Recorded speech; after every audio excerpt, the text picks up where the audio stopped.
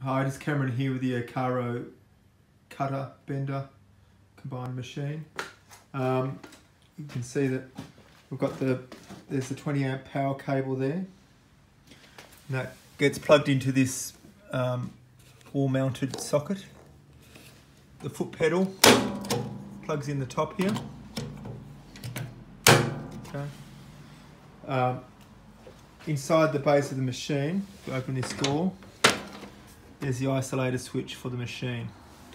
So at the moment it's on, that's off, that's on, so leave that switched on. There's a reset button here that you need to press when you start the machine. If uh, for any reason you push the emergency stop buttons, you need to come behind here and push that reset button there. Okay, first thing to do is check the rotation of the machine. So you've got to make sure that the table is rotating in the right direction. So we've got it set there to clockwise. So first thing we do is close the, the guard on the machine. There's a switch there that disactivates the machine uh, for safety. So push your foot on the foot pedal. Make sure there's nothing on the table um, it's going to collide with anything, the bushes. Close the, close the uh, guard, press the foot pedal. And as you can see, it's actually rotating anti-clockwise. So the machine's rotating in the right direction. So what we're going to do is uh, change the phasing on the plug. So we'll have to pull the connector apart to do that. So you can change the, the phasing here. So isolate the power and then change the connections or the phasing on the, the okay so we're going to go around now. Machine's been plugged back in and turned on. So push the reset button. This button here is to return to zero. So if you stop the machine and it's not at its uh, home or reference position you, you, can push this button here. Just push that button there. See the turntable will rotate and reference back to its position. Okay. So the machine's set to, to rotate in a clockwise rotation. We'll just check it now to make sure that it is rotating clockwise. Foot pedal. Okay. Okay, so it is, it's working fine. Okay. So at the moment there's no tooling in the machine. You see there's a, the squaring arm here, which I flipped away. Okay. And then there's different size bushes that you can use. So depending on what radius you want. There's the center bush that I put in there. That pin's removable. So you just drop that in. There's a little recess or counterbore on that center bush. So, and uh, then you can select the outer bush. The rebar will come in from this direction. You adjust the, the positioning there so you can fit the rebar in the machine. If you look over the top, see the rebar will come through here and then it will bend around the bush there. The angle is determined by where this pin is placed in these holes around the circumference of the bending table. So the machine will rotate until the pin hits a limit switch here and then it will return back to the home position.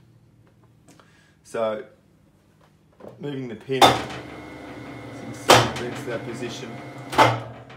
If you want to bend less, move it closer to the limit switch further.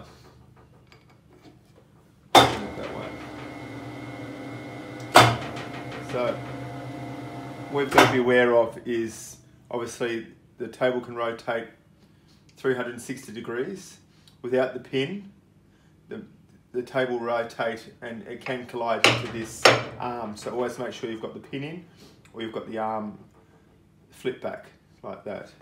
So if I take the pin out now, table just keep rotating.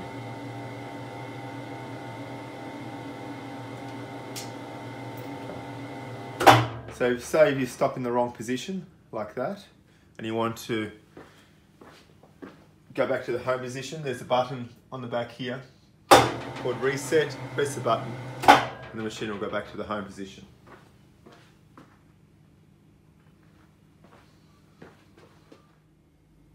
So when you're setting up to bend a bar, make sure the machine's at its home position.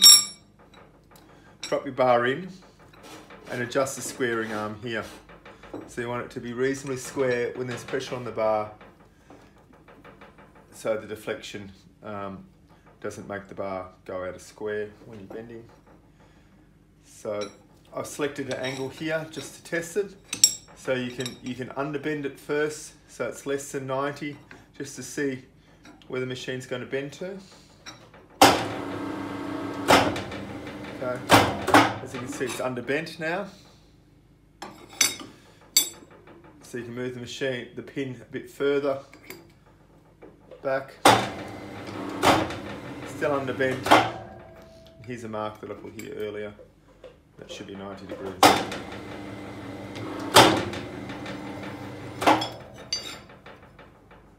There you go, 90, 90 degree bend. So when you, every time you bend now with that size bar on this setup, you should always get the same. Okay, so they're both roughly 90. I've removed the two bushes, so the centre bush and the outside bush. So the radius will be tighter. And I've moved this pin from here to there. So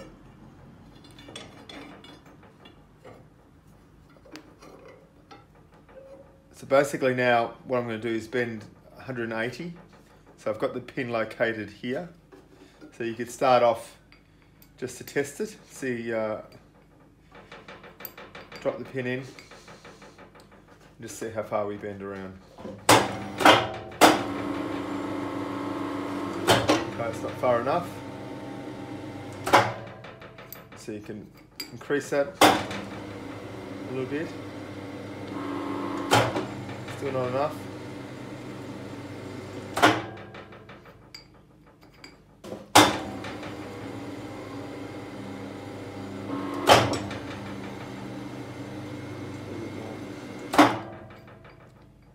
So once you get it right,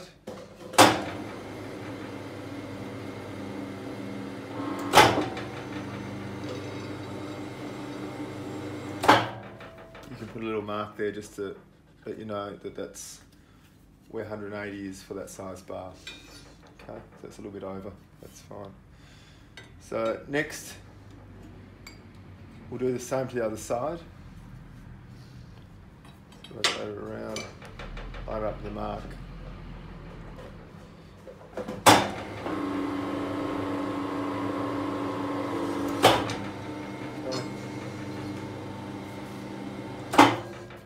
Move the pin to the 90 location. I put a mark there as well.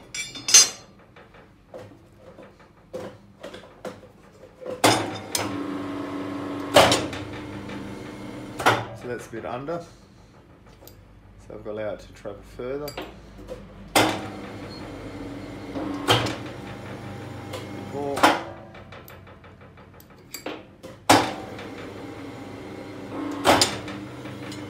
Okay, that, that's pretty well 90. So I marked that location as well. Remove that old mark.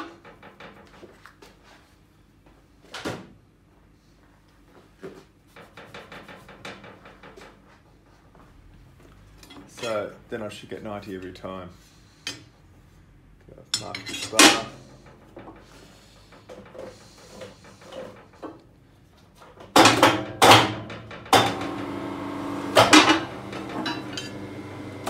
There you go.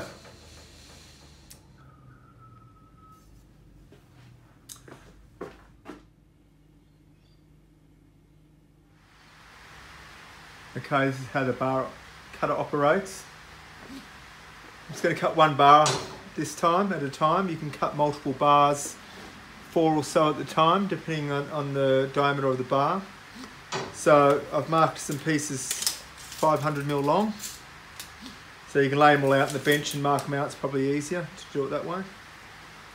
Okay, now the, there's a safety guard on the bar cutter here, so the machine will not operate when, when the guard's open. So you need to put the bar inside the machine, line up the mark, adjust the um, stop here so the bar can't deflect too far. Otherwise the bar will, will twist around and move around a lot. I close the guard,